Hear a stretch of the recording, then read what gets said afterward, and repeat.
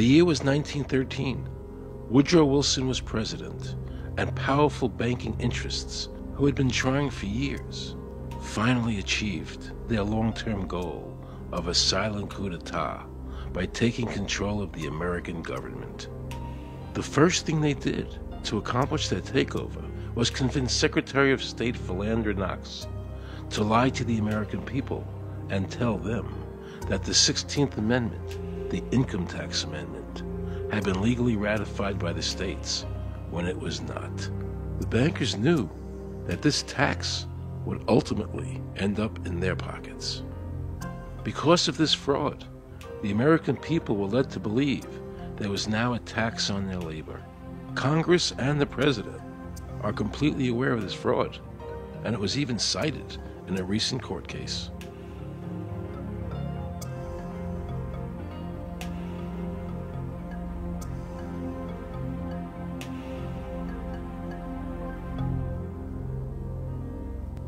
That very same year, the bankers committed their second and by far the most diabolical fraud ever perpetrated on the American people by bribing senators to pass the Federal Reserve Act without the required constitutional amendment. All in favor, say aye. They did this during Christmas vacation, when many senators were home celebrating the holidays with their families. And that's how the unconstitutional Federal Reserve Act came into being. They were very clever, and they understood that whoever issued the money for America would control the government. The bankers won, and the American people lost, because most politicians will sell their soul for a dollar. And now the Federal Reserve could issue dollars legally. As Mayer Rothschild said, Give me control of a nation's money supply, and I care not who makes its laws. He knew that he and the other bankers would now control the laws of the nation. Government gave these bankers one of its most important powers, and now had to borrow money from them and pay interest to finance the government. So the American people were forced to lower their standard of living and pay a graduated income tax to the government just so the government could give these bankers more profits.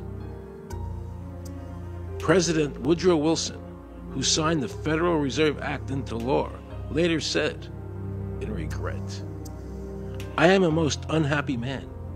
I have unwittingly ruined my country. A great industrial nation is now controlled by its system of credit. We are no longer a government by free opinion no longer a government by conviction and the vote of the majority, but a government by the opinion and duress of a small group of dominant men. The Federal Reserve was created by Congress in 1913, and it was entrusted with the power granted originally to the Congress by the U.S. Constitution to coin money and regulate the value thereof.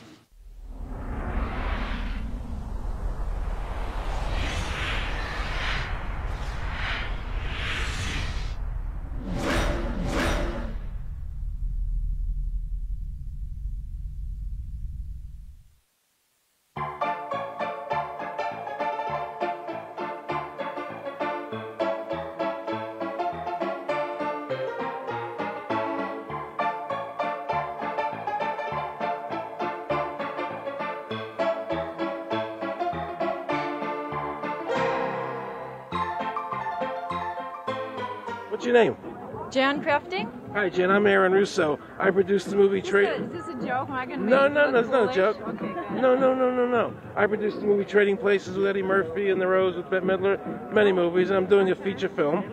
And uh, my film was about my quest to find out whether or not people pay income taxes. Do you pay an income tax? Yes, I do. You do. Yeah. Have you ever seen a law that requires you to pay an income tax? Have I ever read it? You mean in the page, black and white? No, no. So you pay the income tax, I assume.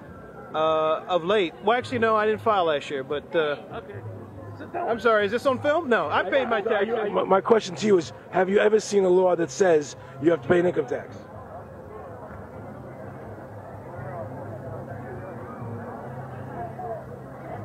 Law is that guy that wears that badge and a gun. That's the one that puts you in jail. That's the law. Actually, I can't stand the IRS. Okay. They're evil. Do you have any fear of the IRS?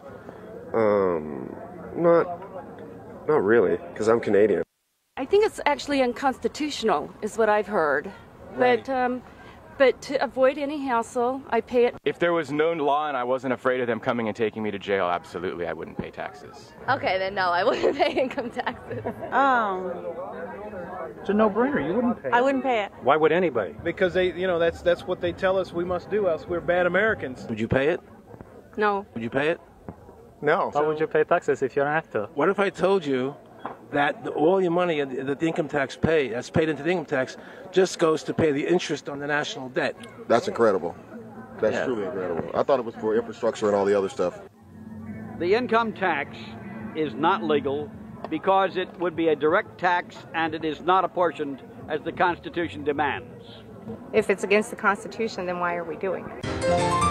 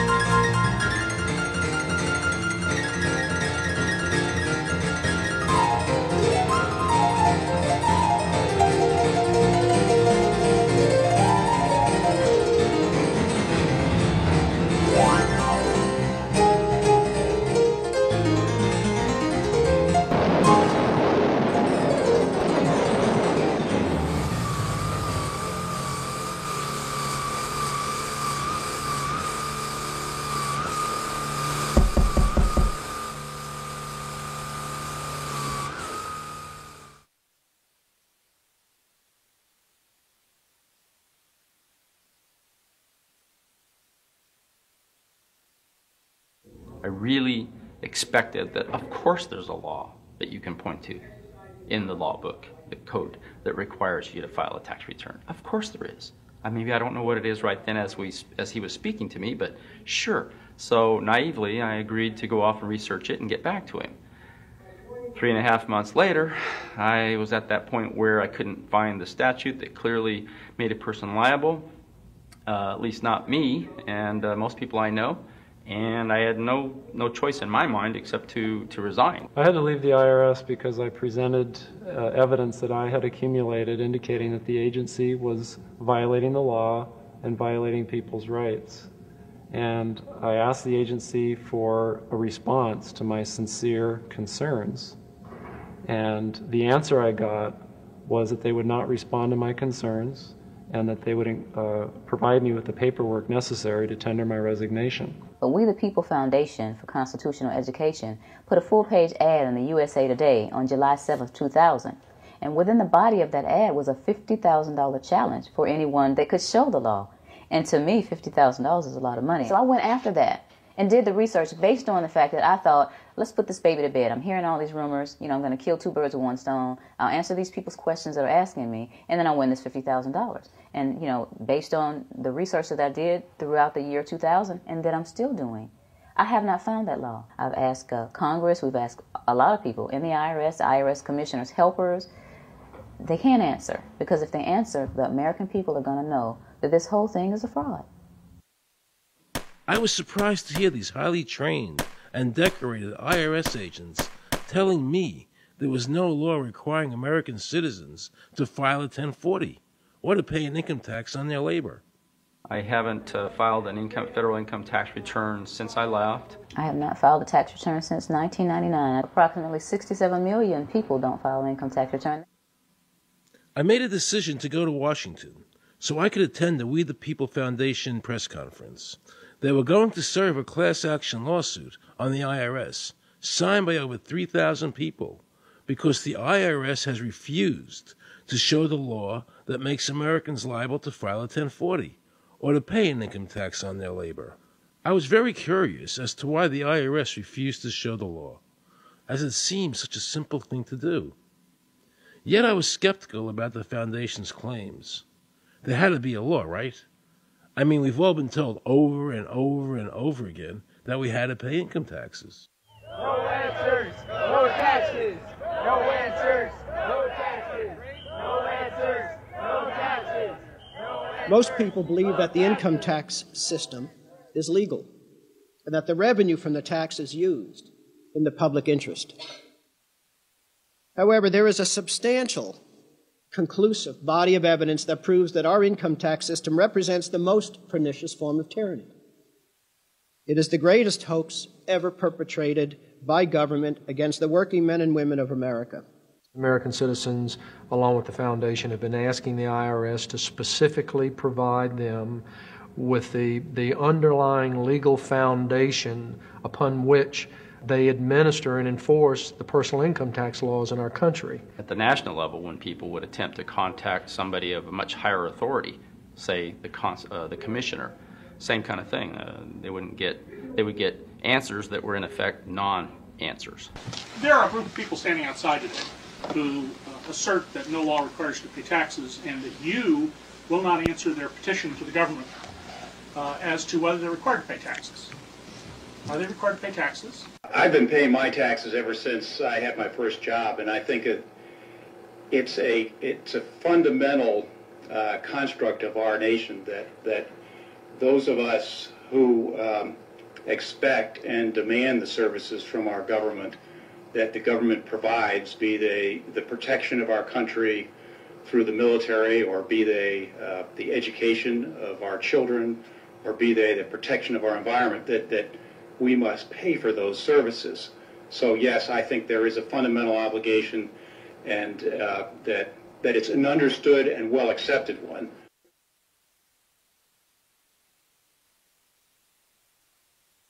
Joe Banister and I had a meeting in the White House with President Clinton's economic advisor, Jason Furman. He accepted the remonstrance for the president.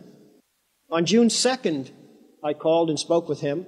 His words were We have decided that the issue of the legality of the income tax is not a high priority matter for the White House, and we will not be participating in any conference on the subject.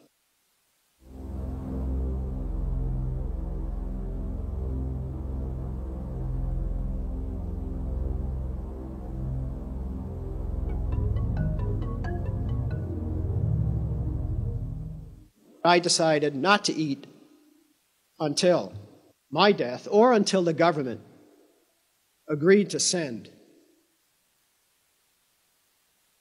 their experts to meet with the experts from the tax honesty movement. And with the help of Congressman Bartlett, a deal was made. I'm very pleased that through these uh, several trying weeks and now months, that we have secured the uh, agreement of the IRS and the Justice Department because some of the questions are beyond the purview of IRS, that they will both attend a uh, public symposium where these issues can be formally uh, addressed. Last Thanksgiving, DOJ and IRS notified Congressman Bartlett that they would not participate. Congressman Bartlett then waited until late January. He informed me that he would not be participating. Why do you think you've been able to get away with not paying or filing your income taxes for so long? Well, first of all, I've not gotten away with anything. I'm not hiding from anyone. I'm simply asking the IRS to show me the laws that apparently require me to do these things, and they are suspiciously uh, reticent to answer questions from me, and of course, there are millions of other people. Uh, many other organizations who have attempted to get answers. They act very suspiciously when asked to simply sit down at the table with the American people and discuss what their obligations are. Right. Rather than pulling up a chair, they pull out a club. As a matter of fact, David Cay Johnston of the New York Times asked Terry Lemons of the IRS why won't the IRS answer the questions set forth in the petitions from the American people. Mr. Lemon's response was the government is answering the questions through enforcement actions in the courts. This is a very chilling remark on the government's use of brute force instead of civility and logic. The federal government itself refuses to provide the American people who are coercively being subjected to this extraction of their private property without any underlying legal justification.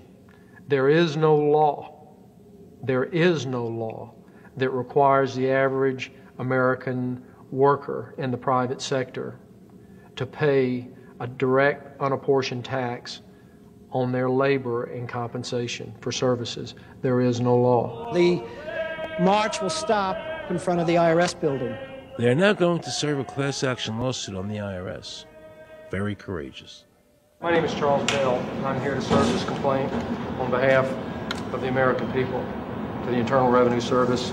The complaint is accompanied by an affidavit that's um, um, under the hand of um, Robert Schulz. Case was served. Uh, we'll call you with the case number. Case has been filed. We'll call you with the case number. Thank you. Okay, thank you. We appreciate your time. America, baby!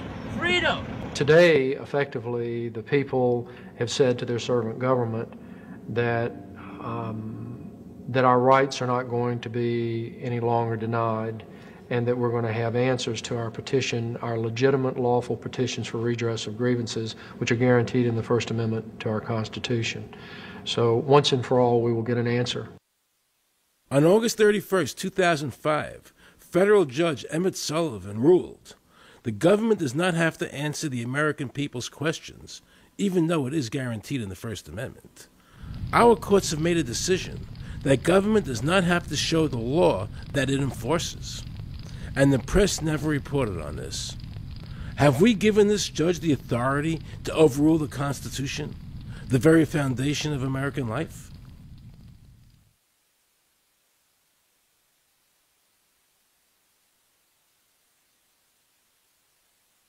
I believe that in both spirit and substance, our tax system has come to be un American. Death and taxes may be inevitable, but unjust taxes are not. The country's taxes must be fixed, and I know what to do with it. If you think you're paying too much now, just wait till I get through with it. Now, Mr. Hanley, I'd like to ask you something. Mhm. What does the government do with all the money we give them in taxes? When President Reagan was elected, one of the first things that he did was a, appoint a blue ribbon panel of, of business people headed by Peter Grace and is commonly referred to as the Grace Commission. And they their job was to research uh, all the various areas of the federal government and make a report. One of the quotes from the Grace Commission is 100% of what is collected is absorbed solely by interest on the federal debt. All individual income tax revenues are gone before one nickel is spent on the services taxpayers expect from government. If we pay the salaries of the congressmen and the senators, we're supporting them, aren't we? Well, yes. Yeah. Well, then why can't we list them as dependents and deduct them?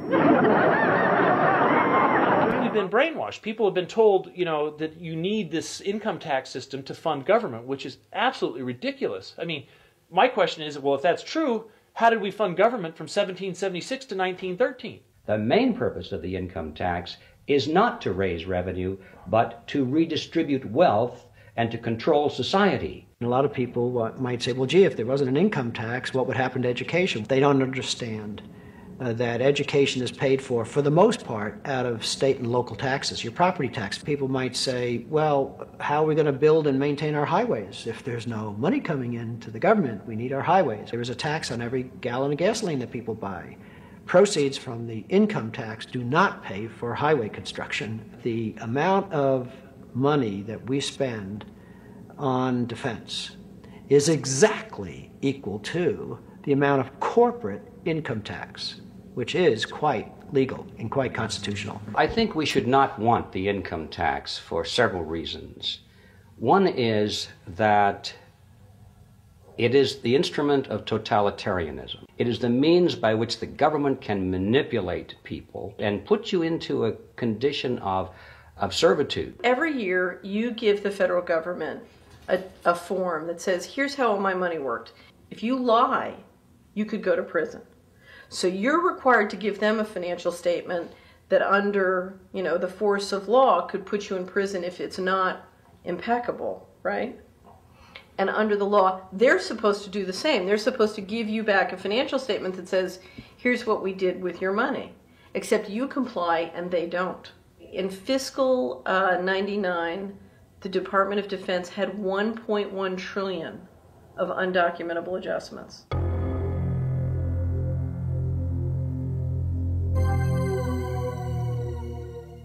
The following year, they had 2.3 trillion of undocumentable adjustments. I decided to call the IRS. I spoke to Anthony Burke in media relations. He was very nice to me, and I explained to him that I was an award winning film producer and that I was doing a documentary on the IRS.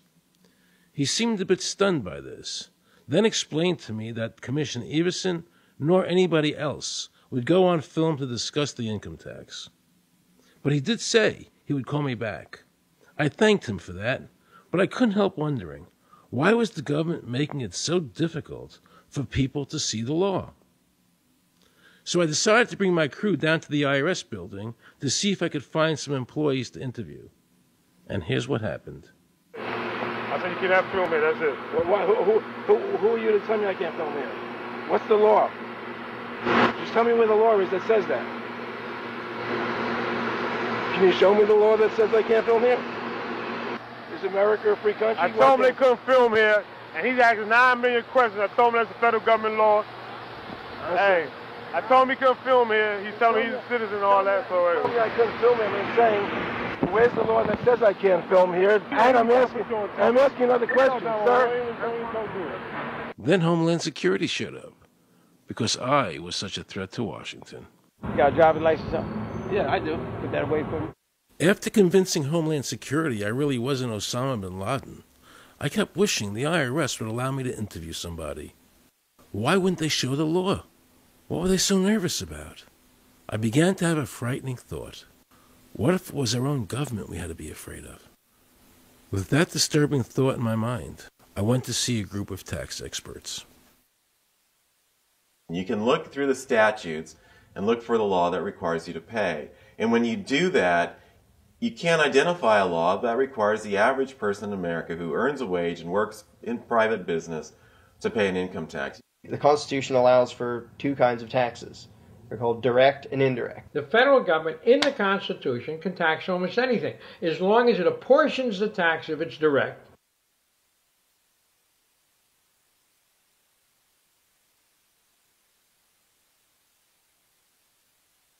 The indirect tax is a is for example an excise tax. I can avoid the excise tax on gasoline. I can choose to ride my bicycle.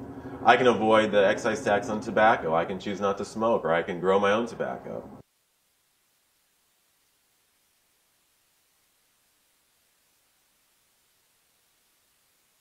The income tax which is being applied now doesn't meet the criteria of either direct or indirect taxes.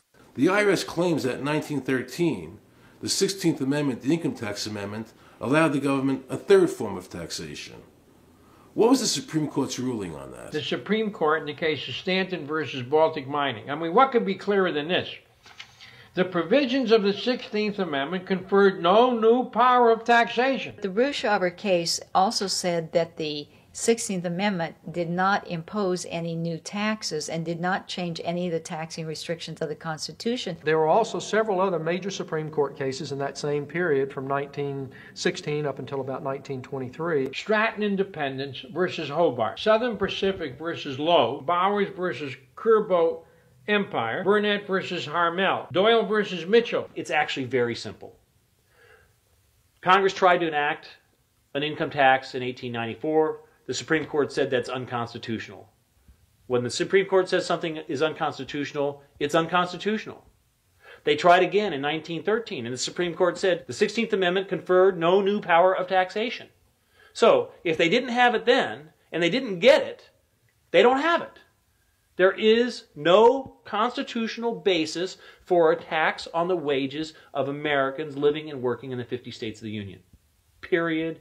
End of argument. I have a letter here from Daniel Inouye's office of the United States Senate that says, based on the research performed by the Congressional Research Service, there is no provisions which specifically and unequivocally require an individual to pay an income tax. Period. End of story.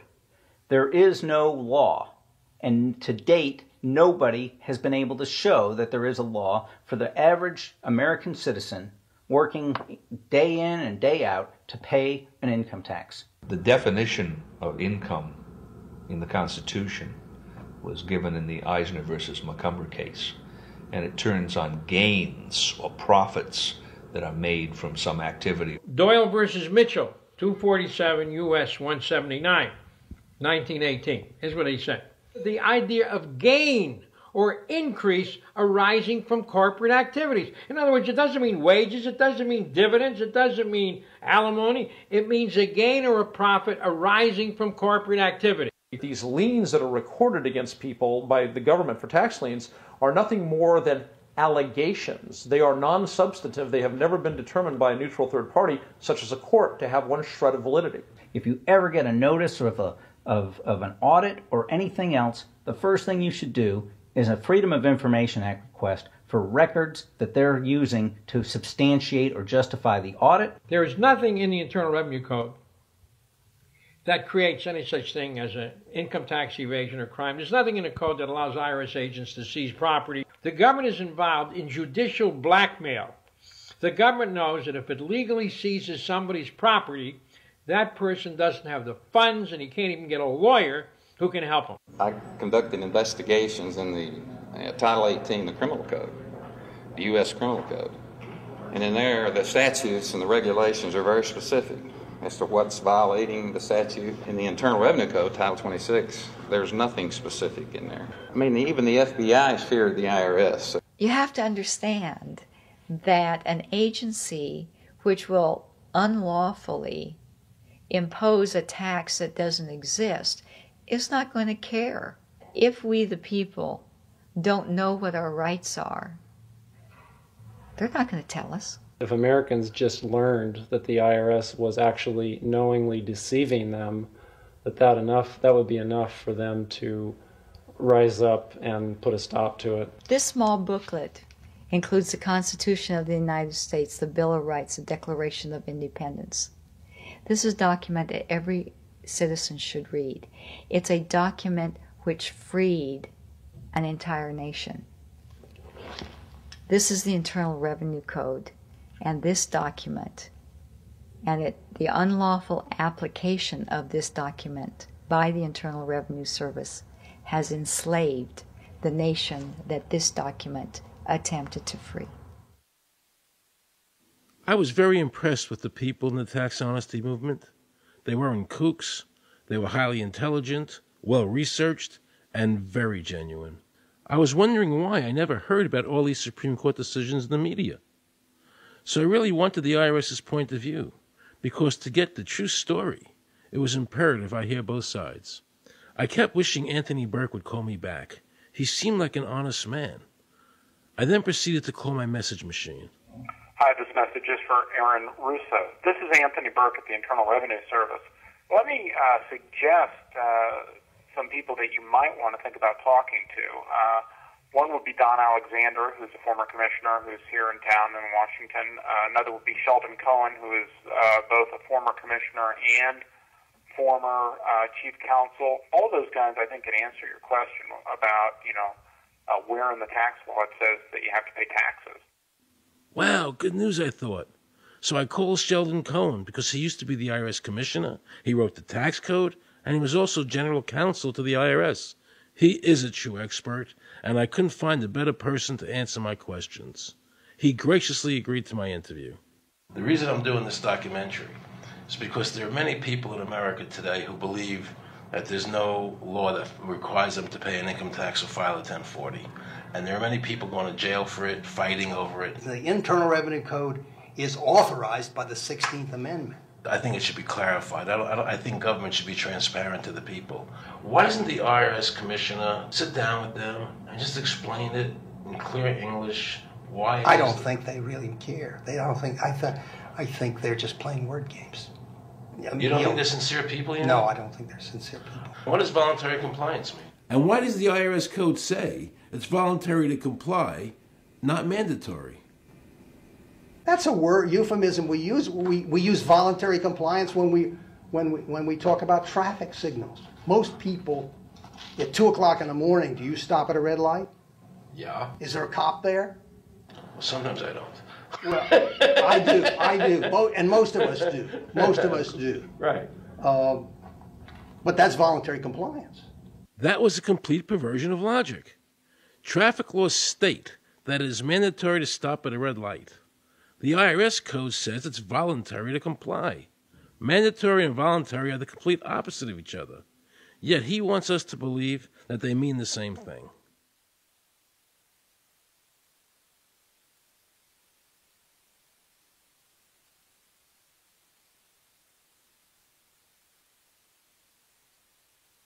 So can the government criminally prosecute somebody of information put on their 1040? Yes. Right. So doesn't that violate the Fifth Amendment? No. Uh, but the Fifth Amendment says I, I, I, don't have to do anything that incriminates myself. Well, it doesn't incriminate you to put, to put your income down. But you said before I could be put in jail for it. The commissioner wants us to believe that although the IRS demands that you fill out the 1040 and you can go to jail for it, that they are not violating your Fifth Amendment rights of self incrimination. That is absurd. Isn't it true that the word income is not defined anywhere in the Internal Revenue Code?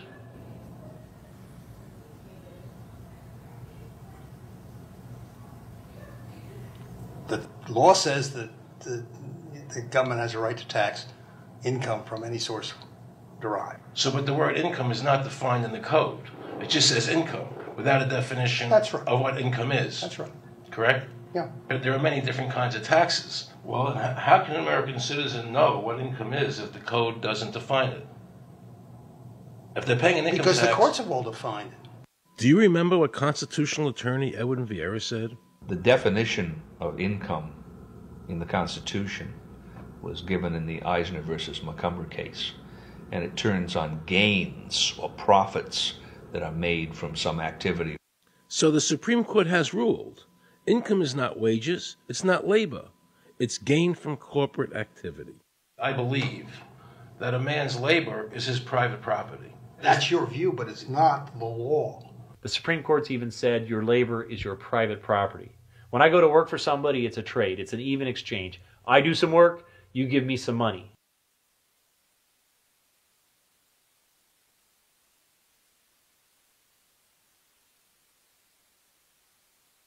1916, we had the Bruce case and the Stanton case. And the Bruce case and the Stanton case said that the 16th Amendment gave the government no new taxing power. I, I'm not going to argue the niceties of that with you. And it came up again in a case called Peck versus Lowe, where where the Supreme Court said the 16th Amendment did not extend Congress's taxing power to any new or accepted subjects. In other words, if you weren't taxable before the 16th, you weren't taxable after the 16th. Today I interviewed a juror, okay, who sat on a case, and uh, they found the person not guilty for lack of filing, okay? And I asked her why they found him not guilty. And she said because the IRS couldn't show us the law that made him liable to file a 1040. All they need to do, if there is a law, is to show us the law which of course they never did. And the reason they didn't do it was why? Because there is no law. Title 26 requires you to file a return. But doesn't Title 26 have to be in compliance with the Supreme Court decisions? You're going to take a 1920 case and superimpose it on the whole Internal Revenue Code that was written after it? No, that's not. I can't believe what I just heard. Rewind. You're going to take a 1920 case and superimpose it on the whole Internal Revenue Code that was written after it? No, that's not. Remember, he said earlier the Internal Revenue Code was authorized by the 16th Amendment? The Internal Revenue Code is authorized by the 16th Amendment. Remember, the Supreme Court said the 16th Amendment did not give the government any new taxing power. These decisions have never been overturned. Let's listen further. Can the lower courts overrule the Supreme Court? No. How are they putting people in jail today for not paying a tax on their labor when the Supreme Court said they don't have to? Doesn't the IRS code have to be in compliance with the Supreme Court? That's my big question. this is a waste of time. Well, let me because ask- whatever I say, you're not going to believe. He's right. I don't believe him. And neither should you. He wants us to believe we should obey the IRS code, which is being enforced in violation of the many Supreme Court decisions. If no, the no, Supreme no. Court made a decision. Thank you, thank you, Aaron. I think we're finished. I'm sorry, Mr. Cohen, you're doing that. Well, I'm sorry that you, you constantly re-argue the point. You're liable because the law says that you're liable, But and the courts say the law says you're liable, and that's why you're liable.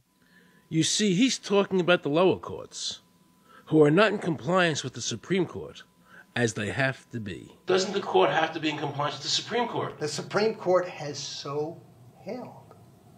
Where? You- You caught me unprepared. I'll come back. Well, I don't want to do that. But let, let me ask you a hypothetical question. No. You're uh, making silly arguments here. Why is the Supreme Court decision a silly argument? Well, because it's inapplicable. That made my heart stop. He just said Supreme Court decisions do not apply to the IRS. That's the behavior you would expect from a totalitarian country, maybe China or Russia or Cuba, not from America. They're just making up the law as they go along. Now I knew the tax honesty movement was right. The IRS thrives on intimidation and fear, not by law. It's no different than a criminal protection racket using force to extract your money from you. Then the former IRS commissioner, now working at a prestigious Washington law firm, threatens me. Watch. Aaron, you understand Yiddish. Gornisht helfen. For those of you who don't understand Yiddish, that means nothing will help you. Now it all became clear. I understood why the IRS wouldn't go on camera and talk about where the law was. I understood why all the senators I called refused to be interviewed. There is no law. And now you know what our political leaders and the courts have known for decades and have tried to cover up.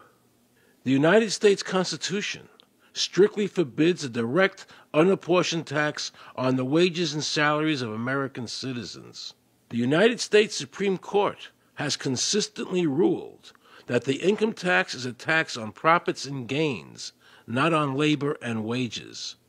On behalf of the American people, I challenge the IRS to show me a statute that allows a direct, unapportioned tax on the wages and labor of the American people.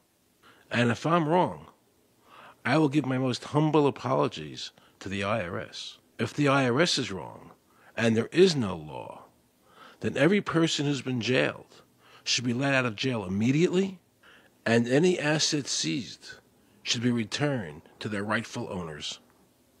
If this is a nation of laws and a free country, then the IRS should show the law to the American people.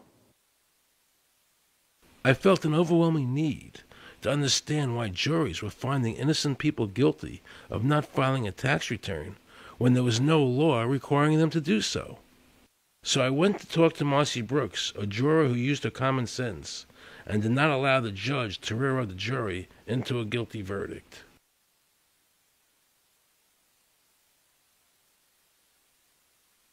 He was being tried for four counts of not filing his income tax. Okay. And our question was, well, what is to decide?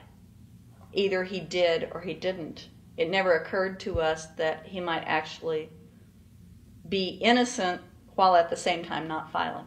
In the federal government, it is not a felony not to file taxes. Finally, they said, okay, if we're going to get this guy, we're going to have to put it in the state. They called up the IRS agent, Agent Craner. Craner. Craner? Yeah. Robert Craner? Mm-hmm. This is Ken Doherty. He's also an investigator with the Illinois Department of Revenue. This is a request for a copy of the delegation of authority order. Right, and I talked to my boss about that, and he said that my badge is that. Badge is the authority. Hmm. Uh, I thought it had to be in writing. The last question that the defense asked him was, Did you write any of this down? And Agent Craner looked right at him and right at us, and he said, I never wrote anything down. And yet, when we saw the video, there he was writing notes, you know.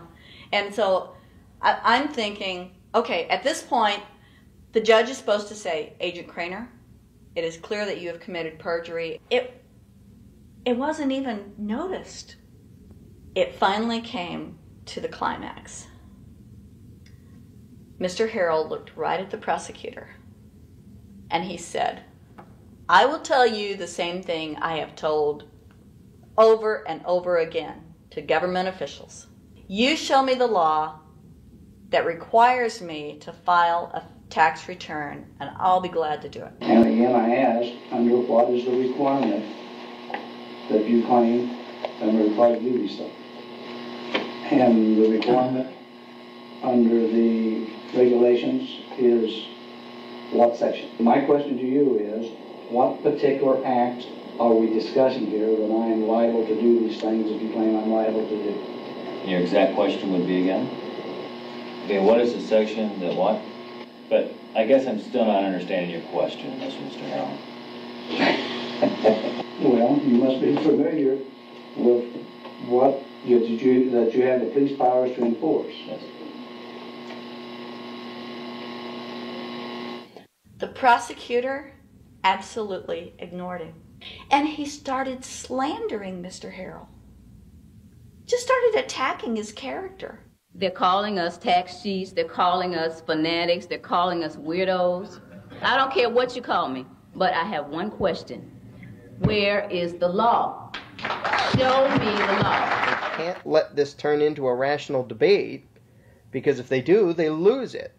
So they have to insult people and say it's frivolous. We felt like that there was an overall arrogance and that they were railroading Mr. Harrell and wanting us to participate. Judge Coogan. He looked right at us and he said, I will instruct the jury according to the law. We were sent to deliberation. The judge promised us that he would give us the law. And we looked and we looked and it was not there. We wrote a note to the judge asking for a copy of the law.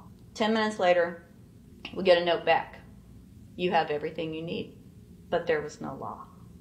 And he had promised us. At, the, at that point, I felt betrayed. I felt like this man promised us the law, and that's what this whole thing is about the law. We request it, and he still denies us the law And the reason they didn't do it was why? Because there is no law. Remember, we're talking about the Illinois state law here, okay, which is a law in Illinois. So we got out that law and we read it several times, and I said, okay, wait, wait, wait, you know, because they kept saying, but this is a law in Illinois. And I said, look at the beginning of it.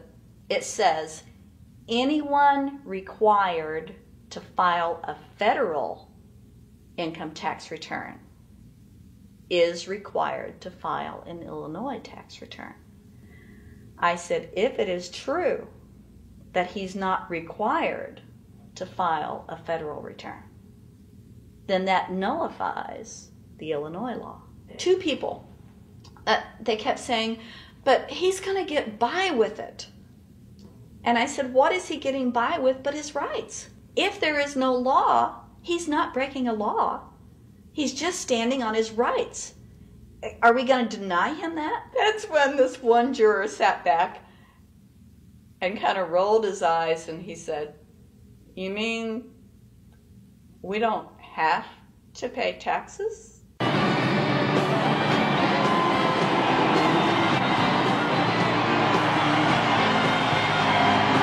All of a sudden, we realized that this trial was much bigger. And the ramifications of this trial were going to be so broad if it actually got out. I mean, it's like it's like we had just discovered this great government secret. And so when we came out for deli- for the delivering of the verdict, the judge was I'm sure even at this point, I'm sure he still thought we would pass given guilty verdict. And the reason I say that is because of the look on his face when the first not guilty was read. His face just turned white.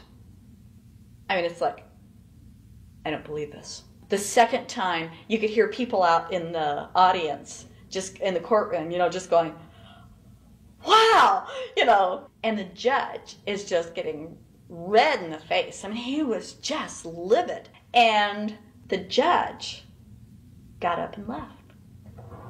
I sat there and I thought, this truly is a victory for the people. And I have never felt more patriotic. And I knew that we had done the right thing. I looked at that man, Mr. Harrell, and I thought, the system might not work all the time. But this time, for that man, it did. In November 2004, the government arrested former IRS criminal investigator Joe Banister. They charged him with fraud for telling the American people the truth about the income tax laws. The jury obviously agreed with Joe. Well, it just showed Mr. Banister to be honest and straightforward and working within the law. Vernice Kuglin, a Federal Express pilot, claimed there was no law requiring Americans to file an income tax. She also won in court. 24 people were criminally charged by the IRS because they claimed there was no law requiring them to file an income tax return. The fact is, neither the judge nor the prosecutor nor the IRS could bring that statute in there because it's not in the books. The jury came back with an acquittal for everyone. When the matter is put to the test, uh, which means in terms of court and enforcement action, uh, there is a 100% success rate in shooting down these arguments. The mafia has a code and they follow it, and it's a code of honor. But the IRS has no code of honor.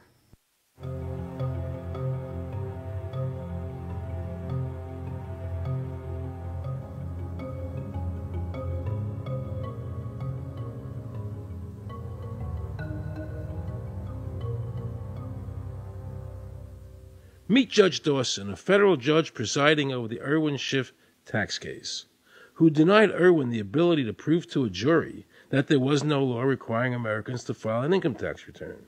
He denied Irwin the right to prove to a jury there was no law by stating, I will not allow the law in my courtroom. But the judge made sure the government never had to show the law as written by telling the jury, you must follow the law as I give it to you. Nobody can know what the law is because the law is what the judges say the law is. The lower courts today will not allow people, in, especially in tax cases, to bring in Supreme Court decisions as their evidence.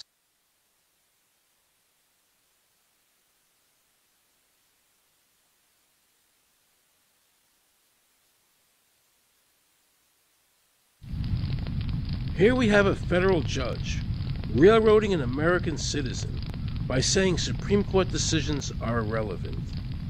And again, nothing from the press defending our freedoms.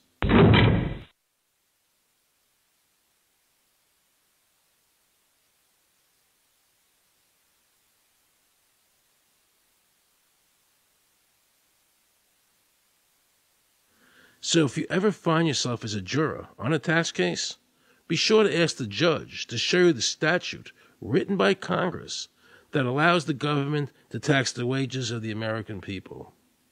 If the judge can't show you the law, then how can you possibly, in good conscience, convict someone and destroy their life?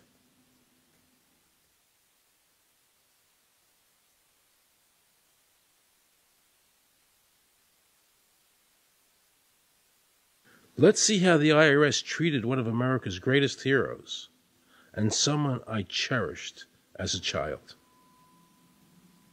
Joe Louis was an American icon. Victorious in his first 27 fights, the Brown Bomber quickly rose to heavyweight champion of the world.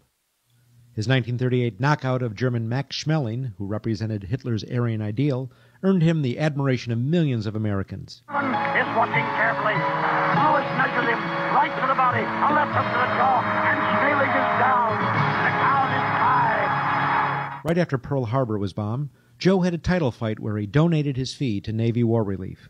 Well, I'm not working for nothing. I'm working for my country, and I think that's about the greatest piece of work that anybody can do. Well, I certainly agree with you for that, but you're turning over an awful lot of money. Well, uh, we all turn over a whole lot for this country this, at this time. Joe volunteered for the segregated army and defended his title while in the service, this time donating his normal fee to Army Relief. I'm only doing what any red blood American would do. Since the checks were in Joe's name, the IRS taxed him on their full amount, even though he never saw a penny of it. At the end of the war, Joe was awarded the Legion of Merit. But what most people didn't know was that the IRS was charging him $50,000 a year in interest alone on his debt. When Joe's beloved mother died, leaving him $600, the IRS immediately seized it. They also confiscated all of his children's trust funds. Joe was forced to continue fighting until he was 37 and out of shape, just to pay off his ever mounting debt to the IRS, which grew to $1 million, $100,000 a year just in interest. At the end of his life, Joe was forced to become a greeter at a Las Vegas hotel just to make ends meet. It was a shameful thing to see a man like him, great fighter, great human being, being humiliated and, and destroyed in this manner because, after all, when you owe Internal Revenue money, no matter what you have, they take away from you. And they took a lot away from Joe Louis.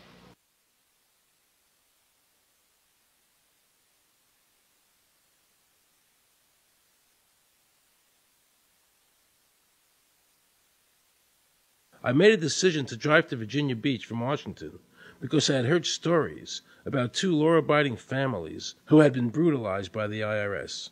They were falsely accused by their bookkeeper of being drug smugglers and tax cheats. And incredibly to me, without any investigation, the IRS proceeded to raid their place of business and their homes, even though they had done absolutely nothing wrong. On Saturday morning, four different raiding parties proceeded to raid four locations on a Saturday, the day before Easter. I was the manager on duty, and I was up in the deli, and people came through the door. How many came in the door? Maybe about 15 or 20 people. 15 or 20 Yeah. armed agents. with dogs, with guns. They made me get everybody, everybody in the. They went in the kitchen, they went in the deli, they went all over the whole restaurant. Told, told all the customers took forks out of their hands while they were eating their breakfast, and told them they had to leave. I got the frantic call from Edie. And uh, she said, something wrong, something wrong. So anyway, I jump out of bed and I immediately run to the shower.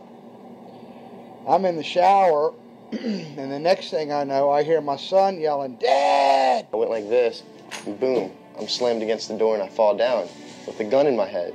And they're like, Where's Scotty Miller? And I'm like, Dad! That's all I'm doing is yelling. I'm scared, frightened to death. And then the next thing I hear is Mr. Miller, the, the, sh- the shower curtain is jerked back. I've got a gun pointed at my head. Hold it right there. The screams from the little girls uh, who were at a pajama party with my daughter. There was four little girls there with my daughter. Of course, mayhem. There were about three men in my bedroom with huge guns. He followed us and wanted to watch us get dressed, and I tried to shut the door, and he puts his foot in the door. Like he's going to sit there and watch us change our clothes. And I was like, Excuse me, no. My neighbors now are all standing out. Were you still naked? Well, I, they handed me a towel at that point. I had a towel wrapped around me. Did the towel fit? No, hardly. hardly. At this point, uh, you know, they were talking about weapons, and uh, you know, and I mean, it's crazy. I mean, they're looking everywhere, going through all my drawers, and I I reached for my underwear drawer to get some underwear. They said, "Don't touch anything, boom!" And they go, they're, they're locking their guns up. They said, hold it right there. Don't move around. Don't move, move. I'm going, whoa. I said, "I'd just like to get some underwear on here, you know. I said, yeah, I got women standing here. I said, They keep everything. How did you conduct your business if the IRS took everything? We had to do it out of a shoebox so we could keep going because we requested these things, and I'm told that the government's really not, once they do raid and so forth, they're supposed to at least let you, until you're charged with something, continue your business. This wasn't the case. They kept everything. So you were never even charged? Absolutely not. Charged with what? And when you speak IRS, the whole world shrivels up. The whole world gets fearful to a point where let's not talk about it. I testified in front of Congress. I would like to know why this dark entity, known as the IRS, has come into my life and refused to leave. I raised my children with a zero tolerance for dishonesty. And now they must hear allegations that I am a major drug dealer and a tax cheat. A lot of people out there being abused, and a lot of people saying, look, I'll pay it. Just go away. Just go away. When all that happened, we had to file bankruptcy. We've had cars taken away from us. Um, kept my daughter from going to college. Do they ever think about the lives that they just destroyed? They think about the ruination of homes and property? No. In this case, we would have never thought this could happen to us. We've never done anything wrong. How can this happen in America when, in my case, personally, I thought that I was doing everything right? I've served my country. I've been to college. At least I've done something in my life. I got a speeding ticket one time. I paid my taxes for 40, 50 years, whatever it was. I've never been audited. What happened here? I had this really uncomfortable feeling in the pit of my stomach as I was thinking to myself, how did America transform itself from being a truly free country with a servant government where our individual rights were protected by our Constitution to being a country that talked about being free but really wasn't? The change started when the Federal Reserve came into existence and America adopted one of the major planks of the Communist Manifesto by bringing to America this central bank. The very same people that backed the Federal Reserve System also backed the graduated income tax, a second plank from the Communist Manifesto. You know that the Federal Reserve is a private bank and not a government agency? No, I wasn't aware of that. It's a it's a private bank. That would scare me quite a bit. What if you learned that the Federal Reserve makes money off the taxes you pay? How would you feel about that? Angry.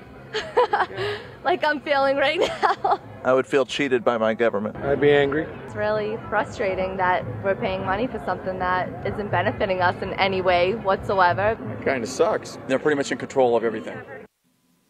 I decided to drive back to Washington to see Dr. Ron Paul. He had been a congressman for over 20 years. I had met him previously in 1998 when I was running for governor of Nevada, and I knew him to be an honest and sincere man, and I thought he'd be very helpful in letting me know what the future holds for the American people.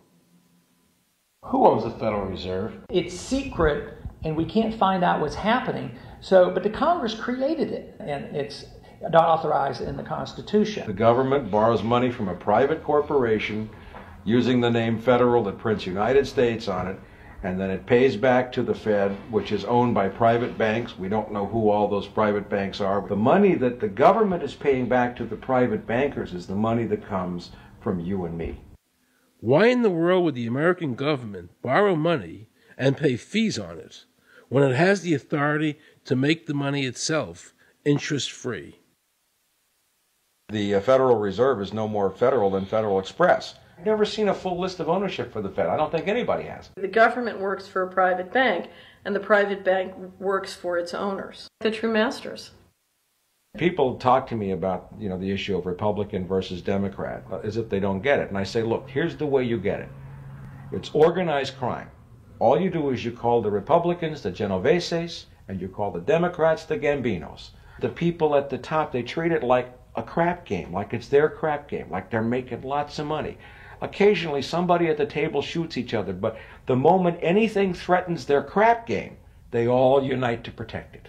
They're both controlled by the same financial, economic, and corporate interests. Once the banks get into the picture and they form a partnership with the government, the government gives them the legal power now to create bank issued money backed by the coercive power of government to require everybody to accept that uh, bank money. In the course of the last century, they have converted this nation from a nation of independent freeholders to a nation of employees. And they're just one step away from being serfs. Most people spend the great bulk of their money for taxes, interest, and inflation. And all of that money goes to these two groups that comprise the cartel and their partner, the federal government. It's not a coincidence. So if Congress used its legal authority to shut down the Federal Reserve System, the American people would be much better off. Government should create, issue, and circulate all the currency. Creating and issuing money is the supreme prerogative of government and its greatest creative opportunity. Adopting these principles will save the taxpayers immense sums of interest, and money will cease to be the master and become the servant of humanity. Abraham Lincoln. Young people today are conditioned from the, practically from the cradle on up to think that credit is a wonderful thing. You don't want to damage your credit. You want to do what you can so that you can go to the bank and get a good loan. There are no, no people who own their own property, who own their own houses, who own their own business, who finance their own business. They're only debtors. The average young person today has no concept that he's being drawn into a web, a trap. Like he's in the feudalist system, only he's going to like it. He's going to think this is wonderful. I got my new red Corvette and I'm in debt for the rest of my life, but I'm looking good. A decision was made. You know, let's get all the debt up, let's move the jobs abroad, and instead of re engineering your skills, we're going to dumb down America, and so the middle class will disappear. Really, what, uh, what most of the people in this country have become is uh, uh, food for the debt machine. When a person borrows money, it puts a noose around their neck and makes them servant to the lender, which is exactly what the Federal Reserve System is designed to do. And now our Congress, so dominated by the banks, is helping them to entrap people even further by passing new bankruptcy laws, making it more difficult for the people to declare bankruptcy and get a fresh start, while at the same time allowing the banks to charge very high rates of interest.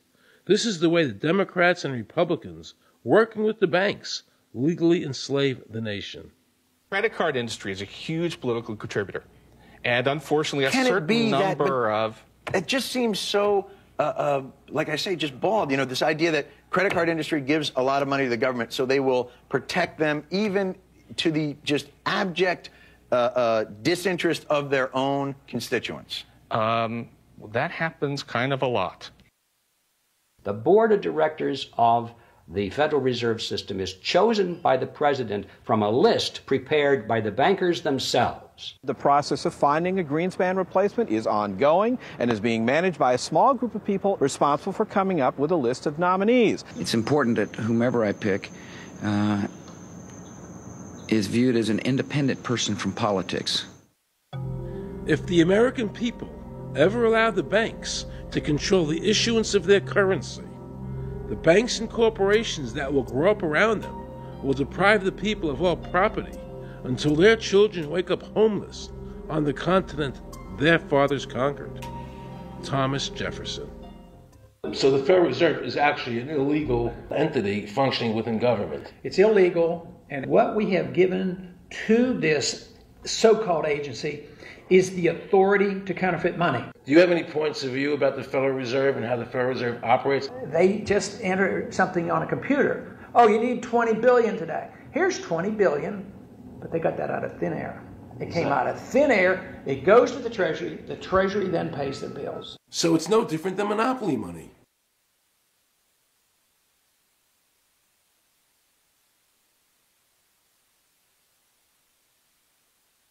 The cost of living is so high today because the Federal Reserve and the federal government have destroyed the purchasing power of the dollar.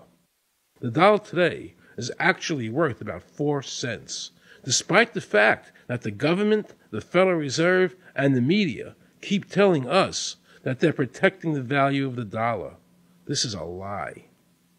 All countries who have ever attempted to create money on thin air, the, the currency is eventually destroyed.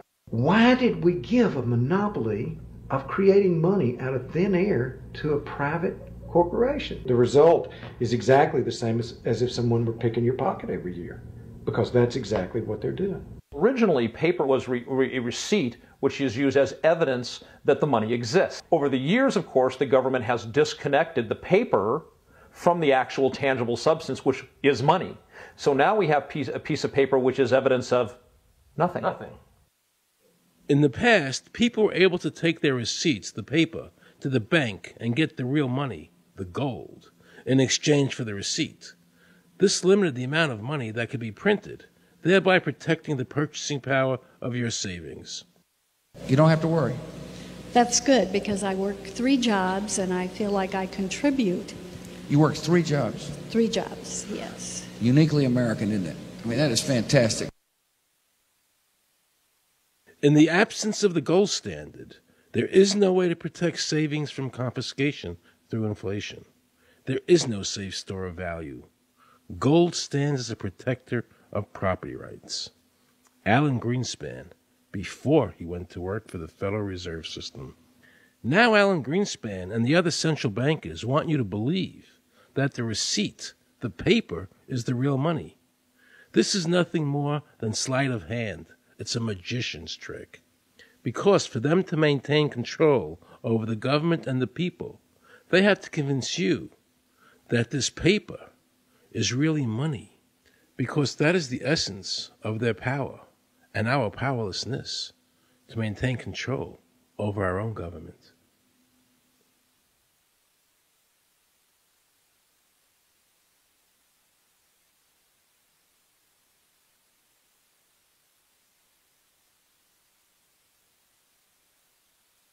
What happened to the gold in Fort Knox? Nobody really knows. When I served on the Gold Commission, uh, I asked them to really, you know, do another audit. I remember it was 15 to 2. They said, we don't need to audit the gold. It's supposed to be the American, American people's gold. And so we would like an accounting to tell the American people what is there. I've been told that the Federal Reserve has taken control of the gold as collateral for the dollars they print. They list gold on their balance sheet. How could the Federal Reserve, this private bank, list gold on the balance sheet? They claim they're holding that for the Treasury.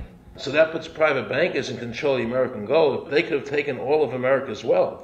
That's a possibility. Shouldn't the Congress stand up and say, where is the American people's gold? They're not audited. They control the money of America, and it's not audited? There is no audit. Oh, wait a second. Doesn't the Federal Reserve work underneath the Congress? Congress ignores their responsibility to uh, do any oversight. The president really has no control, nor does the Congress have any control over this cartel. It just has the appearance of control.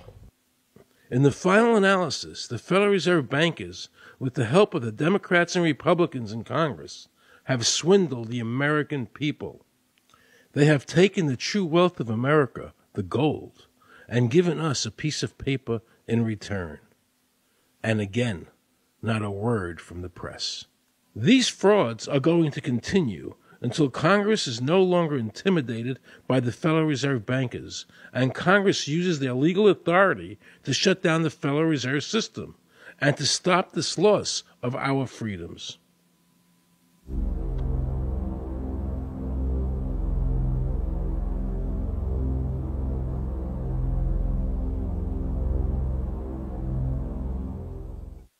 Is there a law that requires people to file a 1040? Not explicitly, but uh, it's uh, certainly implied. Well, implied by force. Yeah. But is there a law? I can't cite a law, no, I cannot. But, um, you know, uh, if they think it's the law and they have all the guns, you, you, know, it's an authoritarian approach. Well, yeah, but that's I mean, it, that's authoritarianism. Yeah. That's not that's not a country run by law. Do you think America is going deeper and deeper into becoming a police state? And if so, in what ways do you see that as a congressman? Yeah, I think we're moving in that direction because there's not much we can do without permission. The absence of a police state is that people are free, and if you don't commit crimes, you can do what you want. But today, you can't open up a business, uh, you can't develop land, uh, uh, you can hardly do anything. You can't go to the bank, you, you can't go to the doctor without the government knowing what you're doing. Uh, and uh, they talk about medical privacy, that's gone. Financial privacy, that's gone. Uh, the right to own property, that's essentially gone. So you have to get permission from the government from almost everything. And if that is the definition of a police state, that you can't do anything unless the government gives you permission, we're well on our way. Uh, this is this is something that uh, people eventually, I hope, will get sick and tired of and say, you know, enough is enough. I sincerely believe the banking institutions having the issuing power of money are more dangerous to liberty than standing armies. Thomas Jefferson.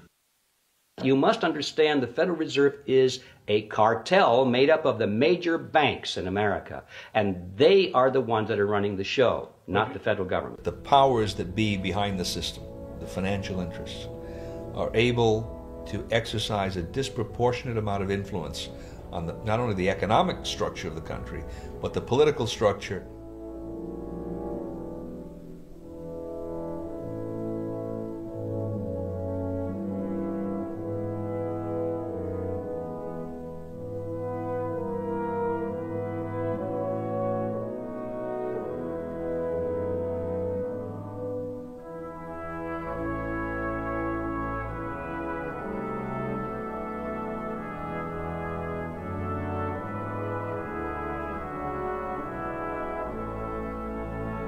this would be like the ultimate reaching of government uh, into our personal health lives, uh, which would be unbelievable. And, and, not even our government, some, you know, bureaucratic, diffuse, uh, multinational, secretive government.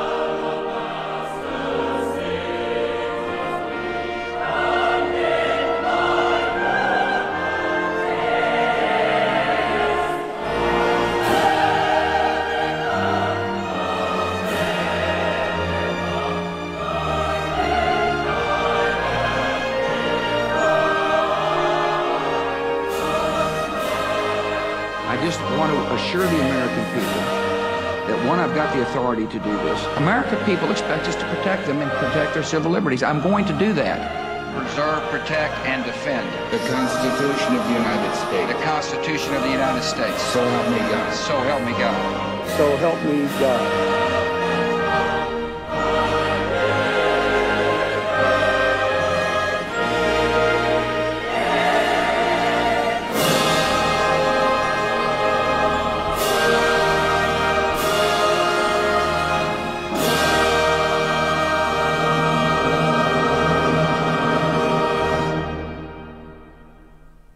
Happens if your, your own government is using more force and more coercion on its own citizens for the purpose of achieving its political ends? Is that government engaged in terrorism?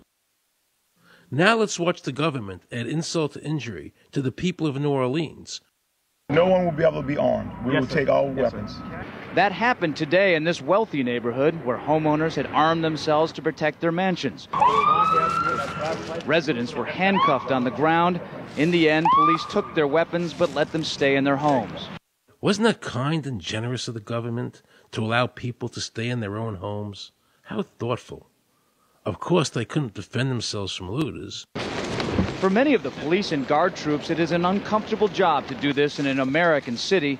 You never expect to do this in your own country. Walking up and down these streets, you don't you don't want to think about the stuff that you're gonna have to do. We are losing our right to property. Uh, the, the government is getting more pretexts to seize it, through, uh, using uh, you know uh, the power to confiscate it with eminent domain. Uh, the asset forfeiture laws have proliferated. It's easier for the prosecutors to come in and make an accusation against you and confiscate your property even though they have no evidence that you've done anything wrong. Guilt or innocence doesn't really matter that much because it's very convenient for the government. Unfortunately, what is being sold to the American people today as Americanism, if you peel off the label, you find so much similarity to what we were fighting against when we were fighting communism and Nazism and fascism. The government's now putting a national ID card together and they want checkpoints. We will be carrying our papers, and they have recommended there'll be checkpoints uh, throughout the country. Isn't that what Nazi Germany did that everybody in America was against? Checkpoints, proof. Papers, please. May I see your papers? May we see your papers? I don't think I have them on me. In that case, we'll have to ask you to come along. Wait, it's possible that, uh, yes. Here we are. These papers expired three weeks ago. You'll have to come along. Halt!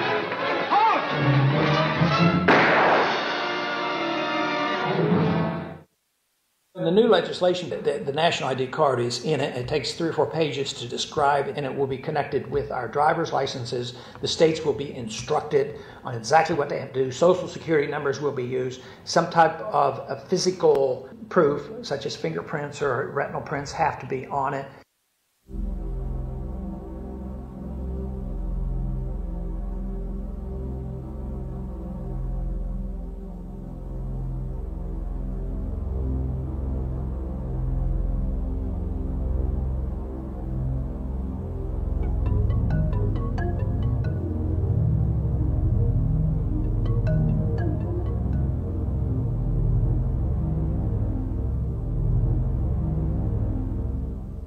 It is time to wake up, America.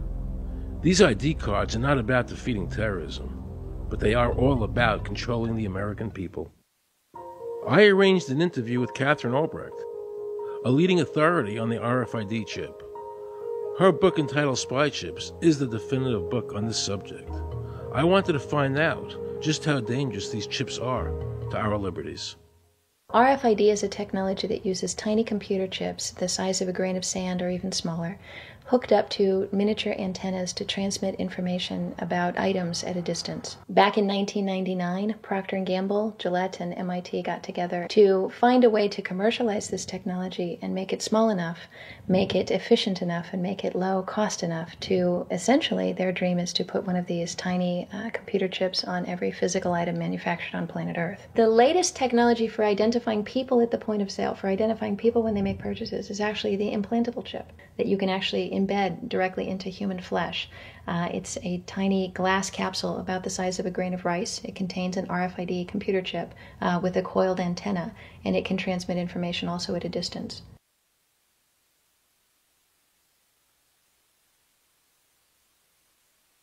Can a microscopic tag be implanted in a person's body to track his every movement. There's actual discussion about that. You will rule on that, mark my words, before your tenure is over. Homeland Security folks, uh, the Department of Defense, and others have uh, expressed an interest in being able to more closely monitor the U.S. populace. And one way to do that, of course, would be being able to determine who buys what and uh, where they take those things.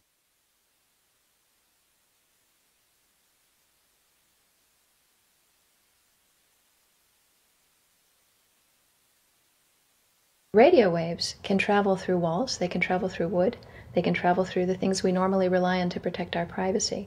Uh, for example, your purse, your backpack, your pocket, anything you're wearing or carrying. Kraft Philadelphia cream cheese has been tagged with RFID and sold to consumers, as have uh, Mach 3 razor products and other Gillette razor products, without the knowledge of the consumer. One of the tiny chips could actually even be the, the, the, dot on the letter I on the back of the fine print on a package that you purchased. They were talking about having reader devices in every airport, on every bus, on every train, on every port, on every dock. One of the most worrisome applications of RFID are proposals to put them into cash meaning that you would be able to track every banknote where it had been, who it had been issued to, and create, in essence, an audit trail that would that would um, essentially take away the anonymity of cash that we now enjoy today. The ATM machine itself, as the money was came through the, the roller device, would be would be reading each number, and they would know who you are because, of course, you identify yourself at the bank before you take money out. And down the road, when you go to pay um, at a major retailer, It would also be possible for them as they're putting the money into the cash drawer to simply feed it through a little reader device. It would go in, it would uh, tag that number and transfer possession from Aaron Russo, say, to Walmart. Once everything you do is tied down to a single number and there is no longer the ability to pay with cash, then all it takes to render you a non citizen is to simply turn that chip off. You will no longer be able to really participate in any function in society, including buy food. So, through the implementation of the Federal Reserve System, the American citizen has gone from being a private individual who had real money, gold, in his possession that was private, to a citizen who has no privacy because all money is now being digitized. They can deduct whatever amount of money they want out of your digits whenever they want. They can trace you whenever they want. You'll be at their mercy. God forbid we allow this to happen in America. This is absolutely Orwellian. I mean, it's talking about Big Brother looking over your shoulder at absolutely everything you do, every purchase you make, every place you go, um, every company you interact with. All of that would be reported back potentially to the government.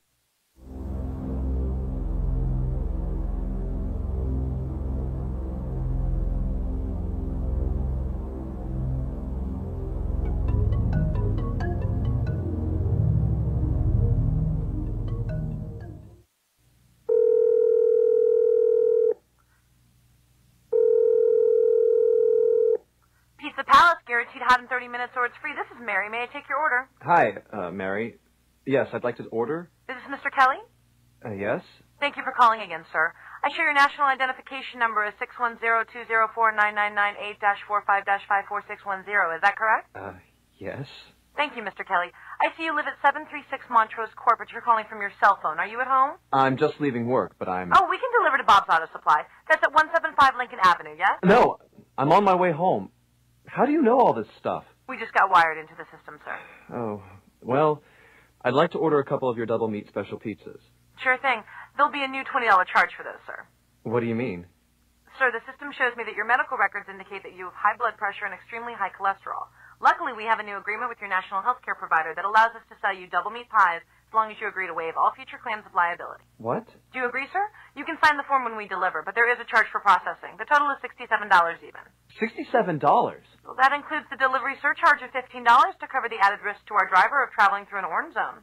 I live in an orange zone. Now you do. Looks like there was another robbery on Montrose yesterday. Hmm. You could save $48 if you ordered our special Sprout Submarine Combo and picked it up yourself. Comes with tofu sticks. Those are very tasty, sir. Good value, too. But I want double meat. Well, I'm sure you can afford the $67 then.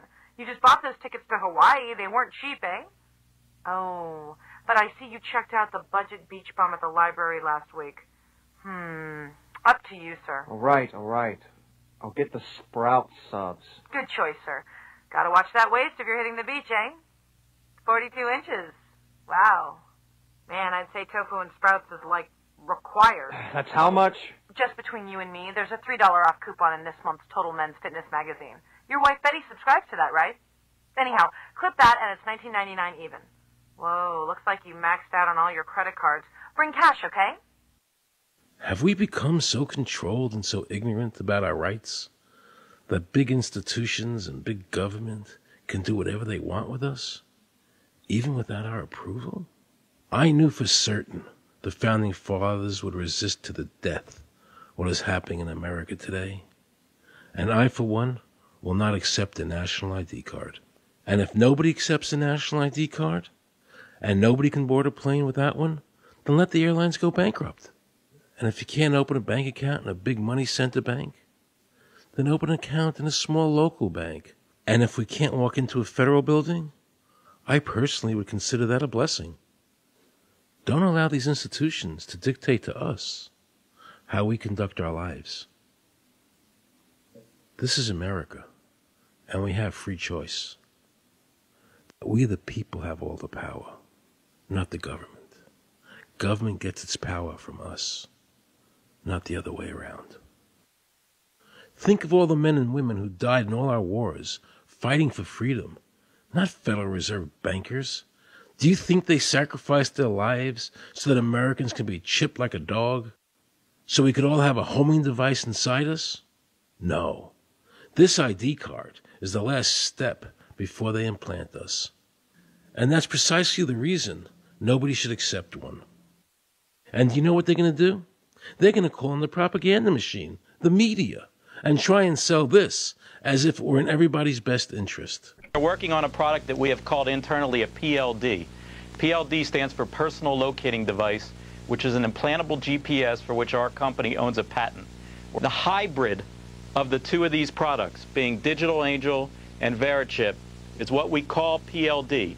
PLD should be in prototype form by the end of this year, by December of 2002, and we are already working with the Food and Drug Administration as well as legislative agencies with these products and ultimately with the PLD.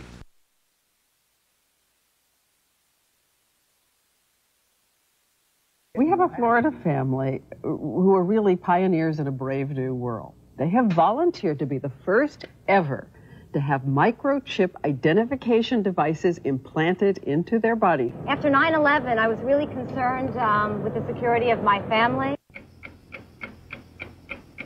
I wouldn't mind having something planted permanently in my arm that would identify me. Talk about identification papers. Watch what happens to a woman in Florida whose license was suspended. Get out of the car or I'm going to tase you. The next street off the Seacrest. But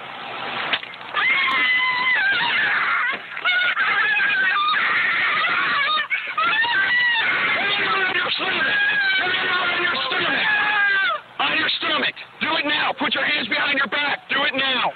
Do it now or you're going to get tased again. Do it now. Do it now. On your back.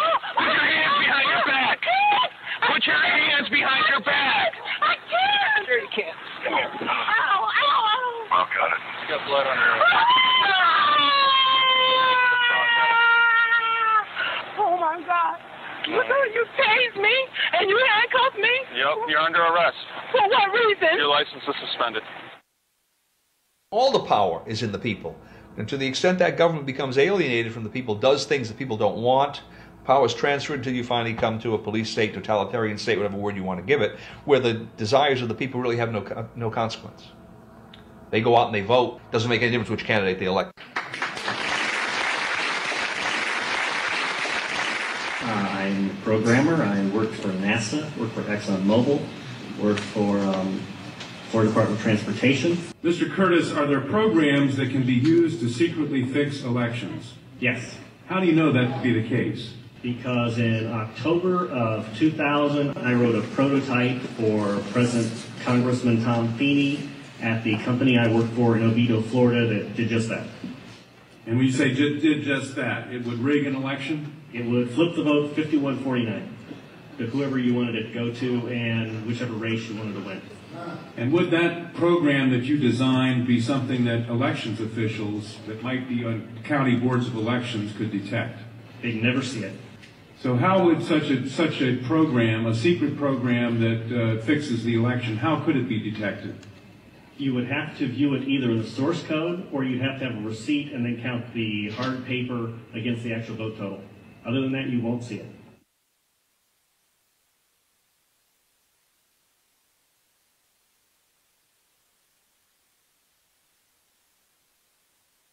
Given the availability of such uh, rigging software and the testimony that has been given under oath of substantial statistical anomalies and gross differences between exit polling data and the actual tabulated results, you have an opinion whether or not Ohio election, the Ohio election, presidential election, was hacked? Yes, I would say it was. So in other words, there is absolutely no assurance whatsoever in anything with regard to these machines. Absolutely none.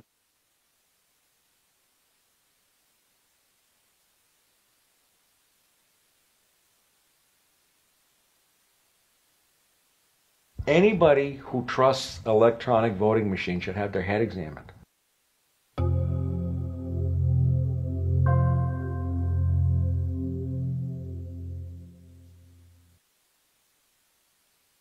Many of the voting machine companies are owned and operated by foreign agencies.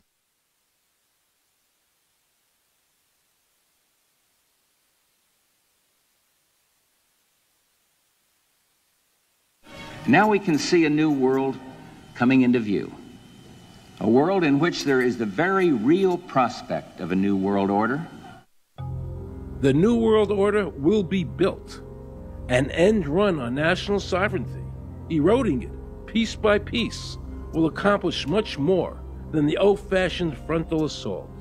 Council on Foreign Relations.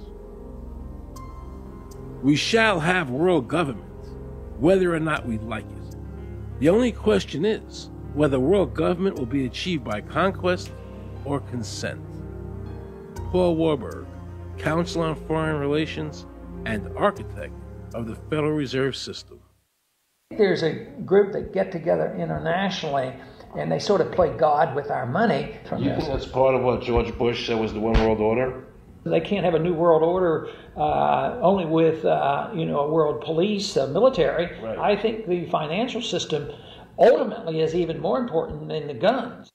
The central bankers of the world are working together to create a one world government, a global police state as sinister as anything George Orwell ever wrote about, where every person on the planet Earth will have an RFID chip implanted, where the bankers and the governments can monitor every transaction you make. A chip in everybody would be the universal monetary system par excellence. Uh, because there'd be no escape from it, and you'd be uh, totally under the control of those who issue the electronic impulses in that chip. Their strategies are being accomplished through the World Trade Organization, the International Monetary Fund, and the Bank for International Settlements, which is the central bank for all the central banks of the world. Most people don't have a clue that these unelected private bankers actually control the governments of the world. They have financed and profited from every war since World War I without concern for humanity. The war in Iraq is an attempt by the Federal Reserve and their partner, the Bank of England, to control the Middle East and to make it a part of the New World Order. To defend the New World Order, U.S. soldiers will have to kill and die. Arthur Schlesinger, Counselor on Foreign Relations. Military men are just dumb, stupid animals to be used as pawns in foreign policy. Henry Kissinger, Council on Foreign Relations.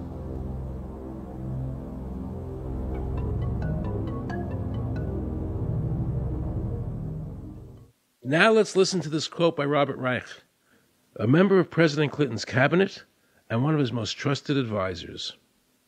The dirty little secret is that both houses of Congress are irrelevant. America's domestic policy is now being run by Alan Greenspan and the Federal Reserve. America's foreign policy is now being run by the International Monetary Fund. When the president decides to go to war, he no longer needs a declaration of war from Congress. Dr. Carroll Quigley, professor from Georgetown University, who was also President Clinton's mentor, said in his book, Tragedy and Hope, the powers of financial capitalism had a far reaching aim, nothing less than to create a world system of financial control in private hands, able to dominate the political system of each country and the economy of the world as a whole. And then President Clinton's Deputy Secretary of State, Strobe Talbott, said, In the next century, nations as we know it will be obsolete. All states will recognize a single global authority.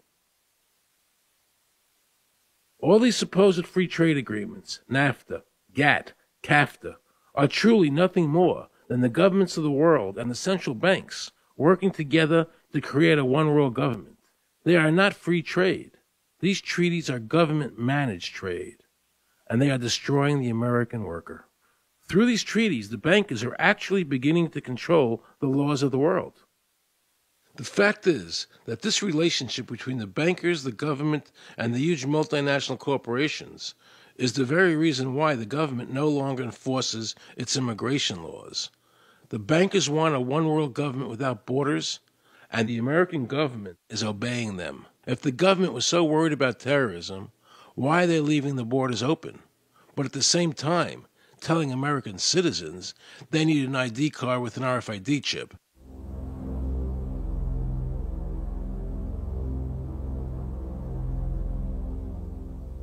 Osama bin Laden could not come over here and limit your rights or my rights to free speech, from search and seizure, from all of these elements in the Bill of Rights. Impossible for him to do that. They could never accomplish that on their own. But through our government, they've apparently accomplished that. Look what happened in Europe. The people that voted down the European Constitution wanting each country to stay sovereign. Yet the private central bankers are pushing the governments forward to make this Constitution happen, even though the people voted against it and clearly do not want a world government nor one European government.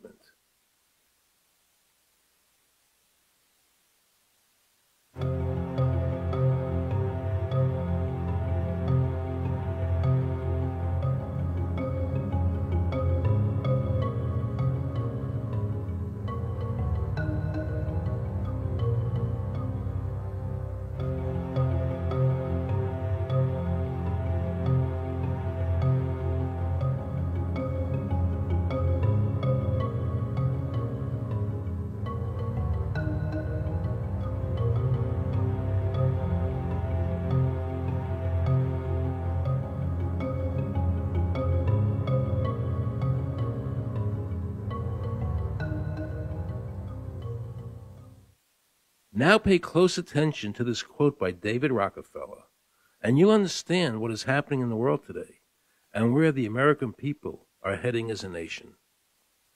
We are grateful to the Washington Post, the New York Times, Time Magazine, and other great publications whose directors have attended our meetings and respected their promises of discretion for almost 40 years. It would have been impossible for us to develop our plan for the world if we had been subjected to the lights of publicity during those years. But now the world is more sophisticated and prepared to march towards a world government. The supranational sovereignty of an intellectual elite and world bankers is surely preferable to the national autodetermination practiced in past centuries. David Rockefeller a member of the Council on Foreign Relations, actually believes that we would be better off if he and his bank of friends ran the world.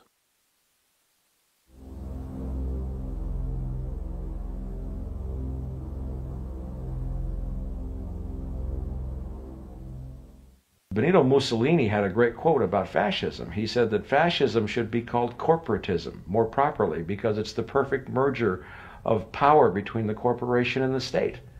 That's how we define fascism.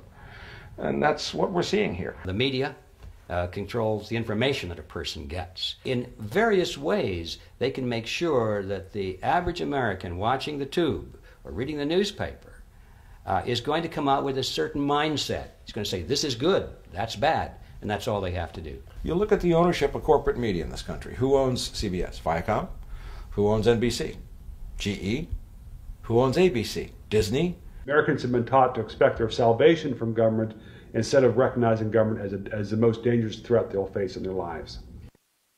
And the United States putting together a constitution now for Iraq. You know, why don't we just give them ours? I mean, think about it. It served us well for over 200 years, and we don't appear to be using it anymore, so what the hell?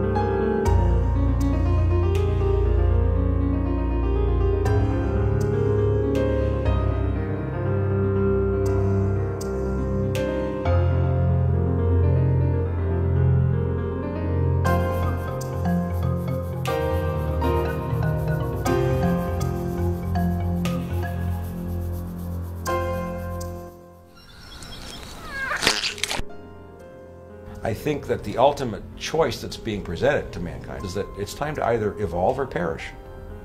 Grow up or die. Become adults. Act like adults. Take some responsibility.